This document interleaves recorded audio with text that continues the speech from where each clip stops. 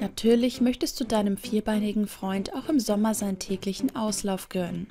Beim Gassigehen bei hohen Temperaturen ist jedoch Vorsicht geboten.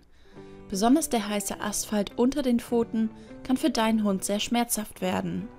Zudem können Hunde nicht wie wir Menschen schwitzen, sondern müssen den Schweiß über Zunge und Pfoten abgeben. Auch der Kreislauf kann von der Hitze in Mitleidenschaft gezogen werden. Um deinem Hund den Sommer trotzdem so angenehm wie möglich zu gestalten, solltest du beim Gassigehen in den warmen Monaten einiges beachten. Was das ist und warum dein Hund niemals auf dem Sommerboden Sitz machen sollte, erfährst du in diesem Video. Schaue unbedingt einmal in unsere Videobeschreibung. Dort haben wir dir hilfreiche Artikel für jeden Hundehalter verlinkt.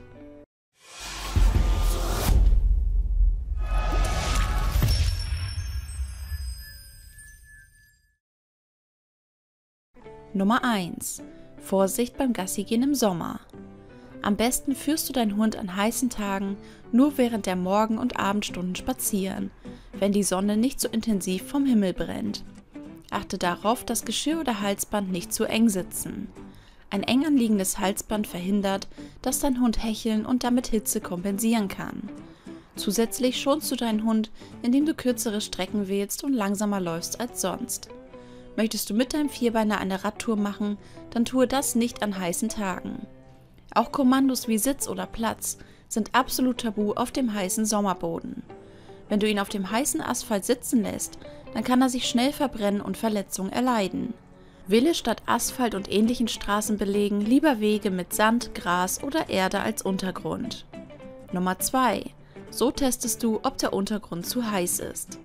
Als Herrchen oder Frauchen merkst du im Sommer nicht unbedingt, wie stark sich die Straße oder Bürgersteig aufheizen, da du Schuhe trägst. Dein Hund hingegen läuft barfuß auf dem heißen Asphalt. In den Mittagsstunden, wenn das Pflaster wirklich heiß ist, solltest du nicht spazieren gehen. Um festzustellen, ob der Untergrund wirklich zu warm für deinen Hund ist, kannst du einen kleinen Test machen.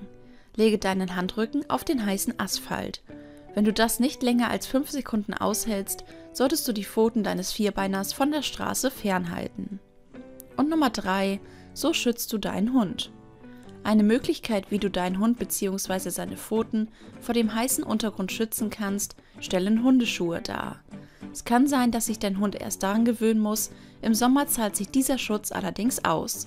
Eine generelle Möglichkeit zur Pfotenpflege bietet das regelmäßige Eincremen mit speziellem Pfotenbalsam.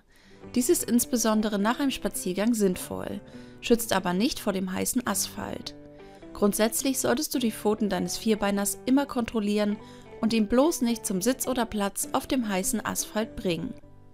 Wenn dir das Video gefallen hat, würde ich mich über einen Daumen nach oben wirklich sehr freuen. Schreib mir auch gerne deine Meinung zu diesem Thema in die Kommentare und vergiss nicht, diesen Kanal zu abonnieren und die Glocke zu aktivieren, damit du auch in Zukunft kein neues Hundevideo mehr verpasst.